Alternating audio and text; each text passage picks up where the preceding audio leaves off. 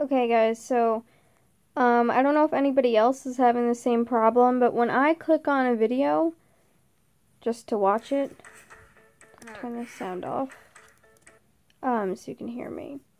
When I want to hit full screen, this is what happens. I'm on a MacBook Pro. Okay, so um, I figured out a way to work around it. It doesn't fix it, but it works around it. So then I would just press pause, play again, and it's fine. Only problem is if you go off of it, hit full screen again, you will have to go back and then hit pause and then hit play again. But for right now, until Google or YouTube or whoever fixes this uh, problem, this is a way to get around it.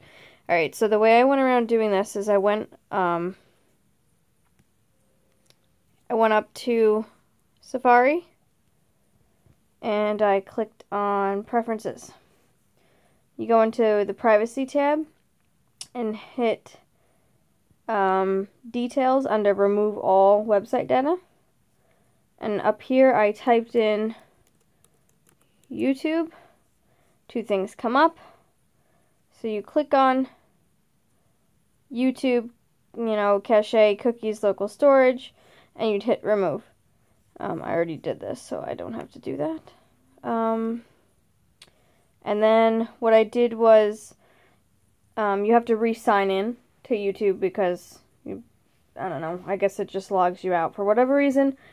And then uh, I refreshed the page, and then I was able to hit full screen, hit the pause button, and play and then I was able to watch videos uh, in full screen. So yeah, it's not a 100% fix, but it is a workaround for right now until they fix it. So I hope this helps anybody out because I really haven't seen more than like one YouTube video on how to fix it on uh, Mac computers. Alright, well, hope this helps. Bye.